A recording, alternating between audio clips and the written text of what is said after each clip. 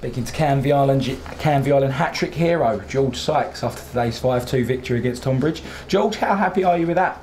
Yeah, I'm delighted. Obviously, it's a good start on my home debut, so couldn't really ask for more than that. I was looking for one, so I'll take three. Yeah, so you came out all guns blazing, um, managed to get an early goal and then pushed on, got another one, then found yourself getting another one. Uh, was you expecting to net a hat trick in the first half? No, I, I was I was confident that I was going to get a goal. But obviously, you have days like this where just things fall for you. Obviously, the first one was a bit more difficult, but the other two fell in the right position for me, and it's just my job to just put it in. That's how you find in all. How are you finding things over at Canvey? Got uh, constant 90 minutes, been brought on quite a few times as well. How, how are you finding things settling into the team? Yeah, I've been I've been told I'm going to come here and play, and obviously they've stuck to their word. I've started today, started uh, against Enfield, so yeah, I've enjoyed it. The boys have been brilliant for me, so I can't really complain at the minute. So what brought you over to Canvey? Was it the want to play 90 minutes? Yeah, I spoke to John and Dan, and they just said to me, look, we'll get you over, we'll play you, I'll get you scoring again. So I can't, obviously that's what I want to do. That's what I'm going to do for this rest of the season. Hopefully it can continue. So obviously after a hat trick today, uh, your first three goals for the for the club, are you hoping to push on for the rest of the season and want to bag a few more? Yeah, that's the point. You know, I'm back front. That's my job. Put the ball in the goal. So if I can carry on, obviously a hat trick every week would be lovely. So we had, we had the fans um, cheering a lot more today, which is fantastic. Um, how important is it for you as a player to hear your name being chanted? Your name was being chanted quite frequently as well. How important is that for you?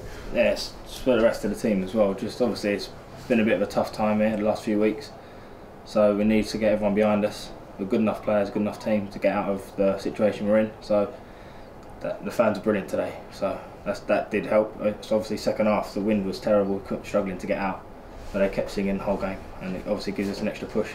So we had every condition today. We had rain, snow, wind, all at one time at one point. How difficult was it? What were the conditions like out there? Uh, playing in snow strange. You obviously don't get that much, but that that's not as bad as the wind second half. It come out of nowhere. There wasn't really that much wind in the first half, and the second half it was really tough. Just had to dig in, and we did really well to get through that half. So you pushed on, you make forced another couple of saves out of the keeper. Uh, you a little bit annoyed that you maybe didn't score another? Uh, nah, the, uh, Twenty's goal was, was a bad into the wind, mate. Like a pass back, wasn't it? So can't really moan about that. Obviously, I was unlucky with the header. I'd, I'd like to hit the target with that, but other than that, no. So for you, as a young player coming across from a team in um, a few leagues above, how is it? How important is it for you to, and all the other young players? We've got a few other young players as well. How important is it for you to get 90 minutes under your belt? Um, whereas if you were at bigger clubs, you might be on the bench a little bit more. How important is that? Yeah, that's the idea of me coming on, on loan. Obviously, if I don't play well and I'm not putting in the hard work, then I shouldn't play. But as long as I keep doing that, then hopefully I'll keep getting the 90 minutes. And um, what would you say your goal for the season would be for the rest of the season over here? Um, just to score as many as I can. Really, I don't really set that many targets longer term. I tend to do it like before a week before a game or something because obviously situations change and games are different. So yeah, I'm, I've probably just obviously as a striker just to score as many as I can. And obviously a man of the match performance, so you couldn't not be. Um, what does it feel like to be named man of the match?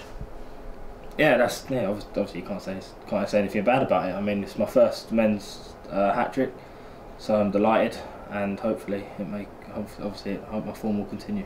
Fantastic, thank you, George. Nice Cheers, thank you. Cheers, mate.